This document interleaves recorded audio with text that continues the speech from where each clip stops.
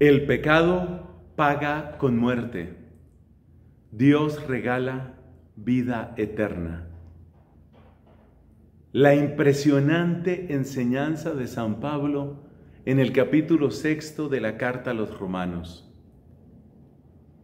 Repito, el pecado paga con muerte. Dios regala vida eterna. Llegar a comprender esto es entender el desenlace de la historia humana. Es decir, para dónde van las cosas. Alguna vez escuché a una laica católica norteamericana que hablaba sobre su propio proceso de conversión. En el caso de ella, lo que más le dolía es haber cometido el aborto. No recuerdo, y no es lo más importante, si había sido uno o varios abortos. Hubo un momento en la vida de esta mujer en que ella descubrió con plena claridad la conexión que había entre el sexo irresponsable y el aborto.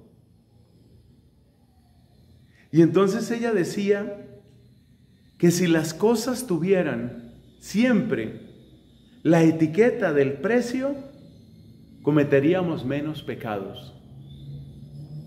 Es decir, si esa noche de borrachera o de droga o de sexo tuviera una etiqueta que dijera, a ti te va a pasar esto, este eres tú, esto, en esto te vas a convertir tú, si pudiéramos ver el final de la película, decía ella,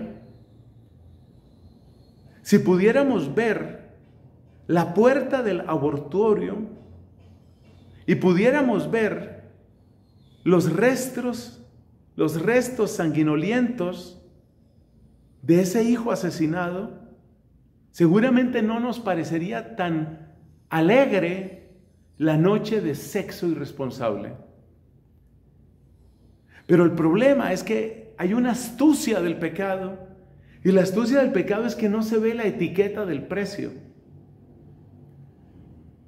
La etiqueta del precio no se ve. En el momento del desorden, en el momento de la droga, en el momento del trago, en el momento del sexo desbocado, en el momento del robo inteligente, porque soy muy inteligente y encontré la manera de sacar dinero, en el momento del pecado no se ve la etiqueta. Y decía ella, si viéramos la etiqueta no pecaríamos.